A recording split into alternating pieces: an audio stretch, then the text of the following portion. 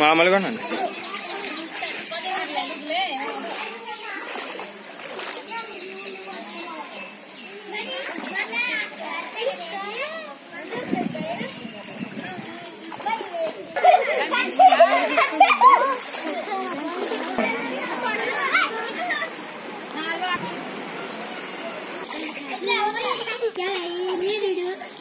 ఎలాగా